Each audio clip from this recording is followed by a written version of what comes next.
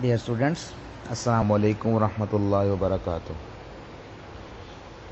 हम आज cardiovascular system को ही कंटिन्यू करेंगे। तो हमारा आज के लेक्चर में हमें मालूम होना चाहिए, ये हमारे लेक्चर के मकासद ये हैं कि हमें मालूम हो जाए कि ब्लड क्या है। हमारा जो ब्लड है, उसके अज्जा कौन कौन से हैं? और हमारे ब्लड में मौजूद सेल्स की अकसाम कौन कौन सी हैं? यानी जो हमारे ब्लड के अंदर सेल्स हैं, वो कितनी किस्मों के हैं, उनके क्या क्या फ़ंक्शंस हैं? तो सबसे पहले हम ब्लड जानेंगे कि ब्लड क्या होता है। तो ब्लड की डेफिनेशन ये है कि the red liquid that circulates in the arteries of and veins of human तो ब्लड की डेफिनेशन ये होगी कि ब्लड एक सुख रंग का स्याल होता है जो हमारे जिसम में खून की नालियों, यानी कि आर्टरीज और वेन्स और कैपिलरीज में मूव करता है। और साथ साथ हमें मालूम होना चाहिए कि ब्लड जो है वो ऑक्सीजन को फेफड़ों से पूरी बॉडी में डिस्ट्रीब्यूट करता है और कार्बन डाइऑक्साइड को पूरी बॉडी से जो है वो कैरी कर कर दोबारा जो है ना फेफड़ों में लेकर आता है अखराज के लिए। जैसा कि हम पहले ही ये सारे जो हैं वो कॉन्सेप्ट्स के बारे में डिस्कस कर चुके हैं। अब हम डायग्राम नंबर वन की तरफ़ जाएँगे। हमें मालूम होना चाहिए कि जो ब्लड है, उसके कंपोनेंट्स क्या क्या हैं? यानी हमारा जो खून है, वो किन किन अज्जा से मिलकर बना हुआ है। तो आप डायग्राम नंबर वन में देख सकते हैं कि आपको एक खाली टेस्ट ट्यूब नज़र आ रही है। अगर आप टेस्ट ट्यूब नंबर वन की तरफ़ देखें तो आपको एक खाली टेस्ट ट्यूब नज़र आ रही है। अब आपको हम जैसे हम पहले डिस्कस कर चुके हैं कि एक प्रोसीजर होता है फ्लैबॉटमी जिसके ज़रिए हम किसी भी पेशेंट का ब्लड ड्रा करते हैं। अब मिसाल के तौर पर आपने फ्लैबॉटमी की तो आपने एक पेशेंट का ब्लड सैंपल ड्रा कर लिया। तो आपने उसको इस खाली टेस्ट ट्यूब में डाल दिया। तो अब आप टेस्ट ट्यूब नंबर टू में देख सकते हैं कि जो एमटी ब्लड की टेस्ट ट्यूब थी, उसके अंदर आपने जो है वो कुछ ब्लड इकट्ठा कर लिया। है कह सकते हैं कि तीन से चार एम आपने जो है वो ब्लड इकट्ठा कर लिया। है अब आपने इस टेस्ट ट्यूब को सेंट्रीफ्यूज मशीन में रख के इसको सेंट्रीफ्यूज किया। तो सेंट्रीफ्यूज करने के बाद आप देख सकते हैं कि जो ब्लड है, वो एक येलो किस्म की और एक रेड किस्म की, जो है ना, वो पार्टीशन में डिस्ट्रीब्यूट हो गया है। यानी इस जो ब्लड पहले आपको टेस्ट ट्यूब नंबर टू में सेंट्रीफ्यूज से पहले रेड कलर का नज़र आ रहा था, अब वो दो हिस्सों में तकसीम हो चुका है। एक रेड हिस्सा है और एक येलो हिस्सा है। तो ये डियर स्टूडेंट्स जो कि येलो हिस्सा है, जिसको आप ऊपर की तरफ़ देख सकते हैं, जो लाइट वेट होता है, जो कि ए सेलुलर होता है तो वो तकरीबन 55 परसेंट यानी आपके जो ब्लड वॉल्यूम होता है, यानी जो ब्लड का वॉल्यूम होता है, उसका तकरीबन 55 फ़ीसद जो हिस्सा है अप्रॉक्सीमेटली जो है, तकरीबन वो प्लाज्मा पर मुश्तमिल होता है। और आपके जो जो आप रेड साइड देख सकते हैं रेड जो आपको नज़र आ रहा है, वो आपके ब्लड का हेमाटोक्रिट है।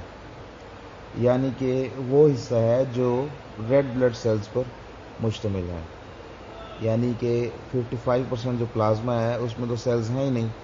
और 45 परसेंट जो अप्रॉक्सीमेटली जो आपको रेड कलर का नज़र आ रहा है तो ये आपके रेड ब्लड सेल्स पर मुश्तमिल होता है।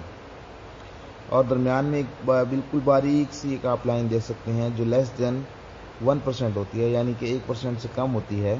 वो आपके डब्ल्यू बी सीज यानी कि वाइट ब्लड सेल्स और प्लेटलेट्स पर मुश्तमिल होती है। और साथ ही आप लोगों को ये भी मालूम होना चाहिए कि हमारा जो ब्लड का जो वेट है, वो हमारे टोटल बॉडी वेट के सेवन टू एट परसेंट होता है। ठीक है ना? इसके साथ ही अब हम, हमने डिस्कस किया है कि प्लाज्मा जो है वो 55 परसेंट पर मुश्तमिल है। जो ब्लड सेल्स में से जो आर हैं, वो 45 परसेंट पर मुश्तमिल हैं। और जो आपके प्लेटलेट्स और डब्ल्यू हैं, तकरीबन लेस दैन वन परसेंट पर मुश्तमिल होते हैं। अब हम जो प्लाज्मा हमने डिस्कस किया है, जो कि 55 परसेंट पर मुश्तमिल है, उसके बारे में डिस्कस करेंगे कि प्लाज्मा के कंटेंट्स क्या क्या होते हैं। यानी कि प्लाज्मा जो है, वो किन किन चीज़ों से मिलकर बना हुआ है। तो डेयर स्टूडेंट, सबसे ज़्यादा जो अमाउंट प्लाज्मा में होती है, वो एच यानी वाटर की होती है। यानी कि आपका जो प्लाज्मा है, वो 90 परसेंट जो है, वो पानी पर मुश्तमिल होता है। और उसके बाद जो 10 परसेंट होता है, उसके बारे में हम डिस्कस करेंगे कि उसमें एक परसेंट जो कि तकरीबन नमकियात पर, यानी कि आइंस पर मुश्तमिल होता है, जिसमें सोडियम हो सकती है क्लोराइड हो सकता है बाइकार्बोनेट आइंस होते हैं कैल्शियम या मैग्नीशियम या आयरन के आयंस या नमकियात मौजूद होती हैं तो ये प्लाज्मा का तकरीबन एक परसेंट होता है। इसी के साथ साथ आप देख सकते हैं कि प्लाज्मा का जो दूसरा कंटेंट है, वो प्लाज्मा प्रोटीन्स होते हैं।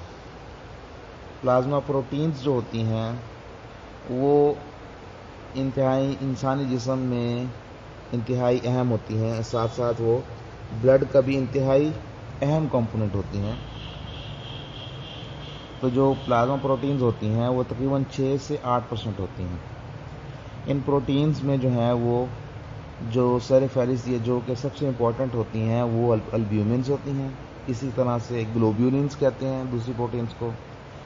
इसके अलावा जो है आपको प्रोथ्रोम्बिन्स हो सकती हैं और फिब्रिनोजिन्स हो सकती हैं।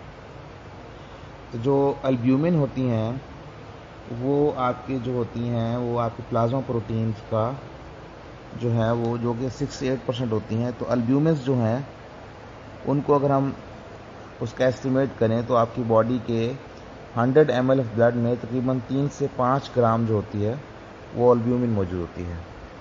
अल्ब्यूमिन के बहुत सारे काम होते हैं, लेकिन उसका सबसे इम्पोर्टेंट जो मेन फ़ंक्शन होता है, वो यही होता है कि ऑस्मोटिक प्रेशर जो होता है ग्रेडियंट जो होता है ऑस्मोटिक प्रेशर जो आपकी ब्लड वेसल्स के अंदर होता है, जो आपकी ब्लड को, यानी आपके जो खून होता है, उसको खून की नालियों में महदूद रखने के काम आती है, वो अल्ब्यूमिन हो सकती है।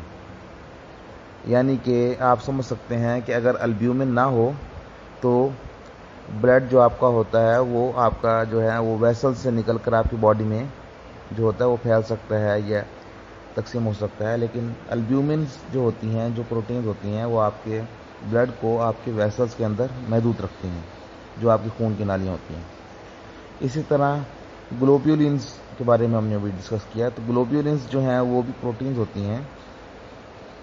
ये एल्ब्यूमिन से डिफरेंट होती हैं। इनकी मकदार भी एल्ब्यूमिन से कम होती है, यानी कि दो से तीन ग्राम होती है पर डेसीलीटर और आपको पता है कि आपको हम इम्यूनिटी में, यानी इम्यून सिस्टम में, ये कहते हैं मुदाफ़ती निज़ाम, उसमें डिस्कस करेंगे कि हमारे जिसम में इम्यूनोग्लोबुलिन्स होती हैं, ये एंटीबॉडीज़ होती हैं।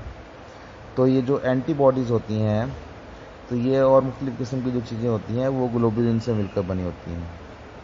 इसी के साथ हमने जैसे डिस्कस किया कि प्रोथ्रोम्बिन्स और फिब्रिनोजेंस जो होती हैं तो ये दोनों प्रोटीन्स जो हैं, ये हमारे ब्लड क्लॉटिंग में काम आती हैं। यानी कि जो खून के जमने की सलाहियत है, यानी कभी खून का आपने देखा होगा कि खून किसी बंदे को कट लग जाए तो खून बहना शुरू हो जाता है तो उसके अंदर जो प्रोटीन्स काम कर रही होती हैं तो वो बेसिकली फिब्रिनोजिन और प्रोथ्रोम्बिन होती हैं। अब हम प्लाज्मा के गज़ाई अज्जा के बारे में डिस्कस करेंगे, यानी कि प्लाज्मा में जो गज़ाई अज्जा हमने डिस्कस किया था कि ब्लड का, हमने जो कार्डियोवास्कुलर सिस्टम को शुरू में डिस्कस किया था कि ब्लड का एक फ़ंक्शन जो है, वो गज़ाई अज्जा की सप्लाई भी होता है। तब हम देखेंगे कि प्लाज्मा के अंदर जो हैं, वो गज़ाई अज्जा कौन कौन से होते हैं। तो हमें मालूम होना चाहिए कि प्लाज्मा के अंदर कुछ मकदार में, यानी थोड़ी थोड़ी मकदार में ग्लूकोज भी मौजूद होती है ठीक है, जिनको हम शुगर्स कहते हैं। उसके अलावा अमाइनो एसिड्स यानी कि प्रोटीन्स जो होती हैं, जो हयातीन होती हैं, उनके बिल्डिंग ब्लॉक्स यानी कि जो आपकी प्रोटीन्स होती हैं, वो जिन चीज़ों से मिलकर बनती हैं, उनको अमाइनो एसिड्स कहा जाता है। तो आपके जो प्लाज्मा होता है, उसमें अमाइनो एसिड्स भी मौजूद होते हैं। इसके अलावा फैटी एसिड्स यानी कि फैट्स जो आपके जिसम में जो आपके, चर्बी वाले मवाद होता है, यानी कि जो फैट्स होती हैं वो जो है, उनके बिल्डिंग ब्लॉक्स यानी कि जिनसे मिलकर बनती हैं, वो फैटी एसिड कहा जाता है तो वो भी आपके प्लाज्मा में मौजूद होते हैं। इसी के साथ साथ हमारे जो प्लाज्मा होता है, उसके अंदर फासिद मवाद भी मौजूद होता है चूँकि हमने डिस्कस किया था कि जो ब्लड का एक मकसद जो होता है, वो फासिद मवाद की जो होता है, वो जिसम से ख़राज भी होता है। तो जो फासिद मवाद जो ब्लड के अंदर मौजूद होते हैं, उनमें से जो होते हैं मोस्ट कॉमन जो होते हैं, वो आप देख सकते हैं कि यूरिया होता है, इसी के अलावा यूरिक एसिड होता है और क्रेटनिन वगैरह होते हैं।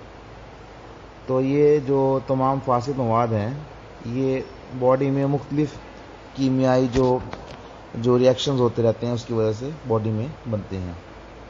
इसी के अलावा ब्लड के, इस प्लाज्मा के अंदर ब्लड प्लाज्मा जो है, जो हम डिस्कस कर रहे हैं, इसके अंदर इंसुलिन वगैरह हार्मोन्स वगैरह भी मौजूद होते हैं, यानी कि इंसुलिन हो गई आपकी जो, आपके ब्लड शुगर को रेगुलेट करती है, इसके अलावा थायरॉक्सिन हो गई, जो आपके थायराइड हार्मोन होता है, इसके अलावा जो है वो कोर्टिसोल हो गया, जो आपके जो आपके क्या कहते हैं उसको सुप्रारीनल ग्लैंड के ज़रिए जो एड्रीनल ग्लैंड जिनको कहते हैं, उधर से एक्सक्रीट होता है तो ये मुख्तलिफ़ फ़ंक्शन जो होते हैं कैरी आउट करते हैं। तो हार्मोन्स भी जो हैं वो आपके प्लाज्मा में मौजूद होते हैं। इसी तरह से ब्लड गैसेस जिस तरह हम डिस्कस कर चुके हैं कि पहले डिस्कस कर चुके हैं कई बार कि हमारे जो ब्लड होता है, जैसे ऑक्सीजनेटेड ब्लड होता है, उसमें का ऑक्सीजन की मकदार मौजूद होती है ज़्यादा, और जो आपका डी ऑक्सीजनेटेड ब्लड होता है, उसमें कार्बन डाइऑक्साइड की मकदार ज़्यादा मौजूद होती है। तो ये तमाम जो गैसेज होती हैं, ये भी जो डिज़ोल्व फॉर्म में होती हैं, यानी कि जो हल हुई हुई होती हैं, वो प्लाज्मा में मौजूद होती हैं। इसके साथ ही अब हम students types of blood cells यानी कि ब्लड सेल्स की कौन कौन सी अकसाम हैं, उनके बारे में डिस्कस करेंगे। तो हमें मालूम होना चाहिए कि ब्लड सेल्स में जो इरिथ्रोसाइट्स होते हैं इरिथ्रोसाइट्स में से इरिथ्रो का मतलब होता है रेड और साइट का मतलब सेल्स के होते हैं। तो इरिथ्रोसाइट का मतलब होगा रेड ब्लड सेल्स या खून के सुर्ख को लिए। इसी तरह से ल्यूकोसाइट्स होते हैं। ल्यूकोसाइट्स में से ल्यूको का मतलब वाइट होता है और साइट का मतलब सेल्स के होंगे। तो ल्यूकोसाइट्स को हम वाइट ब्लड सेल्स कहेंगे या डब्ल्यू कहेंगे। इसी तरह से थ्रोम्बोसाइट्स होते हैं, जिनको प्लेटलेट्स कहा जाता है। तो हम डायग्राम नंबर टू में मूव करेंगे। तो डायग्राम नंबर टू में आप देख सकते हैं कि आपको आर का एक स्ट्रक्चर दिखाया गया है। तो आर यानी खून के सुर्ख खोलिए जो हैं, वो इंतहाई फ्लेक्सिबल यानी कि लचकदार होते हैं और वो बेजवी शक्ल के ओवल होते हैं और बाई कनकेव होते हैं। यानी आप इस डायग्राम में भी देख सकते हैं कि जो आपके जो आर हैं, वो ओवल शेप्ड हैं और वो अंदर की तरह कनकेव होते हैं। यानी कि अगर आप उनकी दोनों साइड्स पे देख सकते हैं तो वो साइड वाली जो आपको उनका जो मार्जिन है, यानी कि जो बाय वाली साइड है, उधर से ऊँची है, लेकिन अंदर वो कनकेव हैं। ठीक है ना? तो इसलिए इनको बाई कनकेव सेल्स कहा जाता है, या डिस्क कहा जाता है।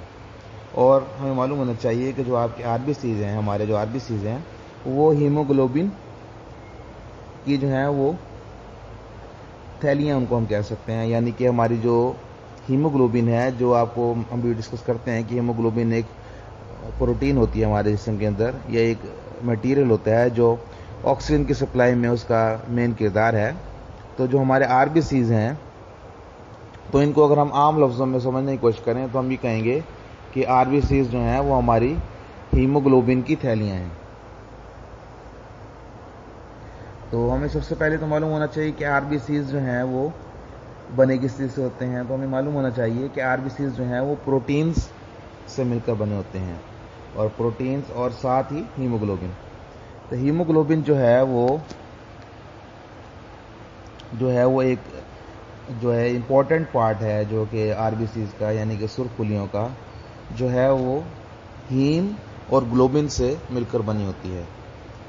तो हीम जो है वो बेसिकली जो है वो आयरन का स्ट्रक्चर आयरन कंटेनिंग एक कंपाउंड होता है, यानी कि आयरन के मुख्तलिफ़ जो हैं वो उस पर मुश्तमिल होता है और जो कि ग्लोबिन्स जो हैं वो प्रोटीन्स होती हैं। इसी तरह से हमें मालूम होना चाहिए कि जो हमारी जो आर हैं, यानी खून के जो सुरखुलियाँ हैं उनकी जो जो वो जो बन रहे होते हैं, यानी कि जो प्रोडक्शन हो रही होती है तो प्रोडक्शन साइड जो होती हैं, उनकी वो लॉन्ग बोन्स होती हैं बॉडी की। लॉन्ग बोन्स जैसे आपकी आपकी फीमर बोन होती है, यानी आपके जो थाई की हड्डी होती है, बड़ी हड्डी, इसके अंदर जो होती हैं, इन हड्डियों के अंदर जो होता है, वो हड्डियों को गोदू मौजूद होता है। तो जो हमारे आर होते हैं, वो हड्डियों के गूदे में, इसके अलावा हमने एक बोन के बारे में डिस्कस किया था स्टर्नम जो कि हमारी पसलियों के दरमियान में मौजूद होती है। तो इसके अंदर जो गुदू मौजूद होता है, वो भी आर बनाने के काम आ रहा होता है। इसी के साथ साथ हमें एक बहुत सी इंपॉर्टेंट बात मालूम होनी चाहिए कि जो हमारे खून के सुर्ख पुलिये होते हैं तो इनकी एवरेज लाइफ जो होती है, वो तकरीबन 120 डेज़ होती है, यानी कि 120 दिन।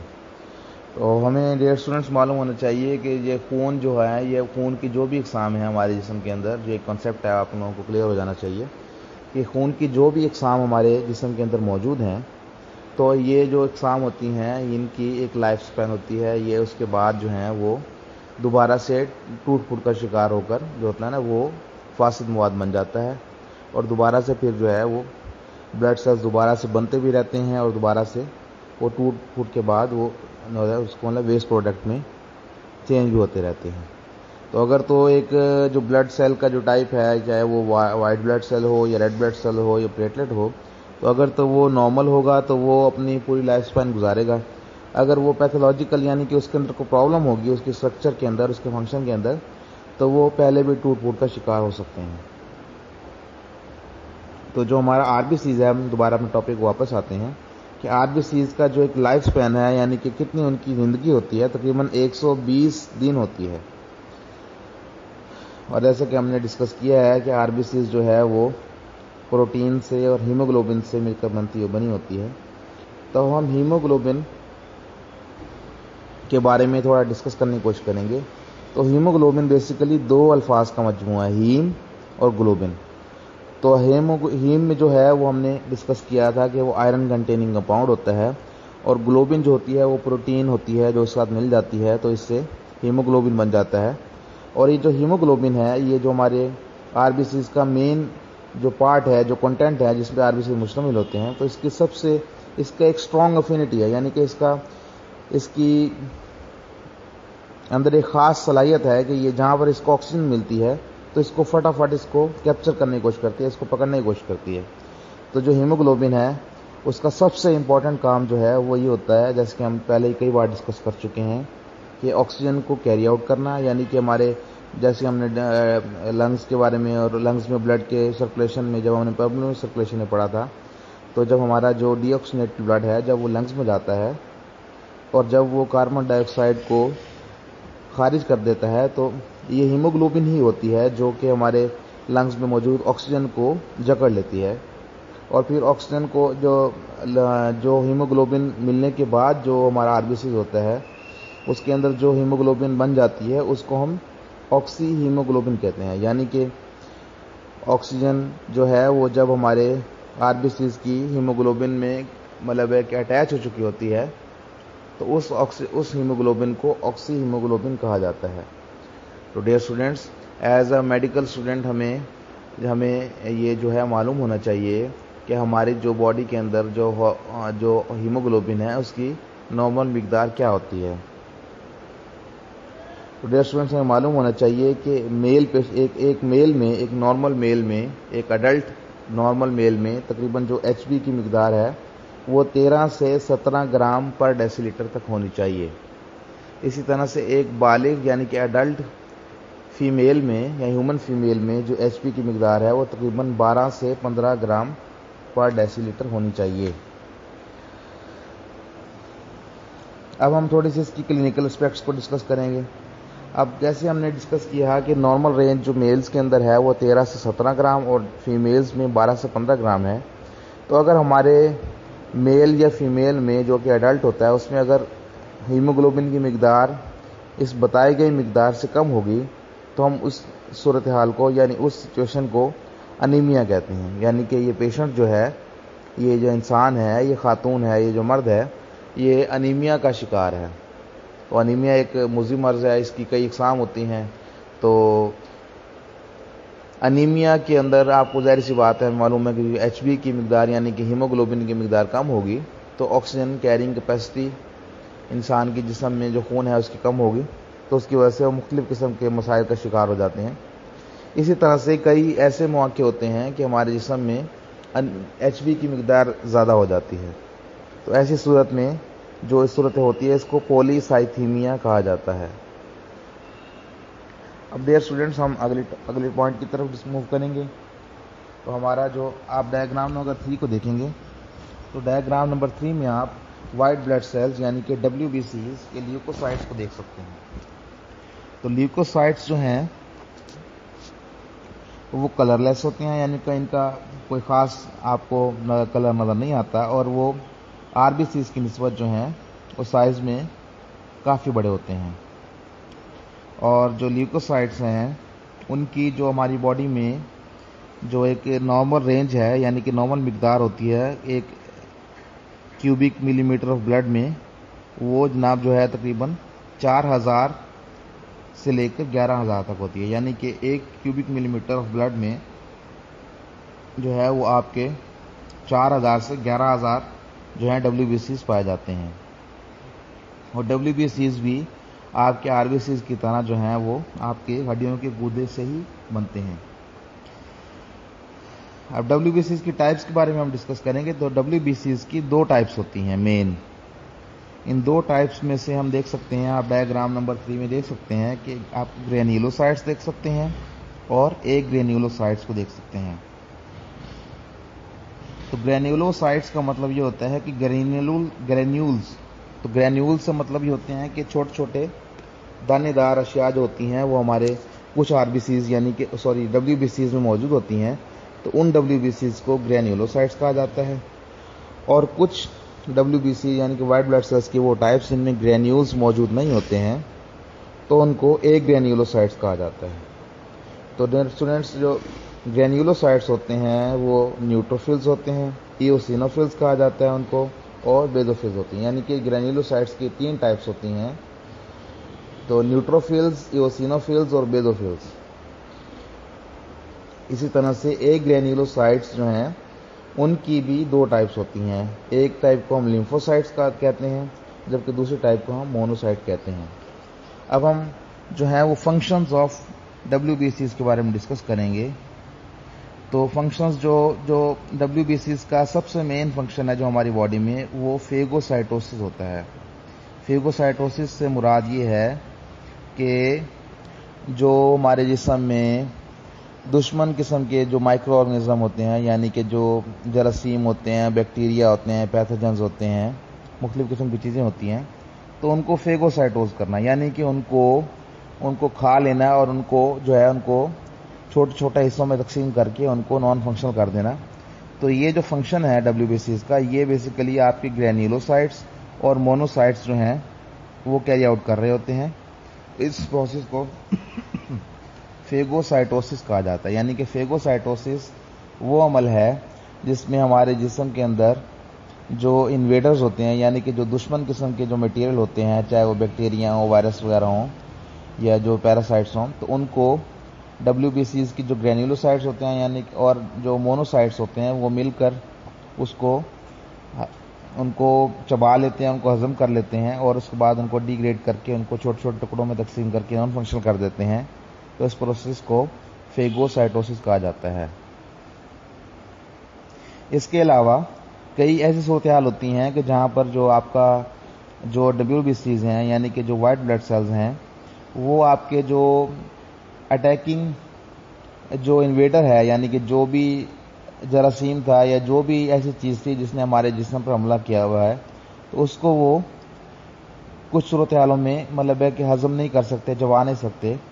तो ऐसी सूरत हाल में जो आपकी बॉडी का जो एरिया होता है, या जो वो एरिया जिसमें वो बाहर के जो अज्जा या जो जो रसीम या कोई लड़ने वाली या कोई भी बैरूनी चीज़ आ चुकी है तो उस एरिए को कवर कर लेते हैं। इसी तरह से जो है वो आपकी बॉडी के अंदर उन चीज़ों को मज़ीद जो है वो, जो है वो स्प्रेड होने से बचाते हैं। इसी तरह से हमें मालूम होना चाहिए कि अगर हमारी बॉडी में जो है वो डब्ल्यू यानी कि ल्यूकोसाइट्स या वाइट ब्लड सेल्स की मकदार अगर चार हज़ार या ग्यारह, चार हज़ार और ग्यारह हज़ार की जो रेंज है, जो नॉर्मल रेंज हमने डिस्कस की है, अगर डब्ल्यू की जो अमाउंट है वो ग्यारह हज़ार पर क्यूबिक मिलीमीटर से ज़्यादा हो जाए तो इस सूरत हाल को हम ल्यूकोसाइटोसिस कहेंगे। इसी तरह से अगर हमारे बॉडी में डब्ल्यू बी सी की मकदार जो है वो 4000 पर क्यूबिक मिलीमीटर से कम हो जाए तो हम इस सूरत हाल को ल्यूकोपीनिया कहेंगे। इसके बाद हम प्लेटलेट्स की तरफ़ मूव करेंगे। प्लेटलेट्स जो हैं, वो जो हैं, वो सेल्स की जो है वो तीसरी मेन किस्म है। तो इन जो सेल्स होते हैं, इनका जो मेन मकसद होता है, वो हमारी ब्लड क्लॉटिंग करना होता है। यानी कि हमारे जिसम में हेमोरेजिस हो रही होती हैं। यानी कि आपने अक्सर अवकात जो आपने वाज तौर पर देखी होगी होती होगी किसी बंदे को किसी आपके क्लास वालों को किसी बहन भाई को कभी आपको खुद भी तो कोई चोट लग जाती है कोई कट लग जाता है तो उधर से ब्लड जो होता है वो फटाफट निकलना शुरू हो जाता है। तो इसको हेमरेज कहा जाता है। इसी तरह से हमारे जिसम के अंदर भी कई दफ़ा छोटी मोटी हेमरेजेस हो, होती रहती हैं। यानी कि जो हमें बज़ाहिर हमारे यहाँ हमारी आसानी आँख से नज़र नहीं आ रही होती लेकिन हमारे जिसम के अंदर हर वक्त टूट फूट का अमल जारी होता है।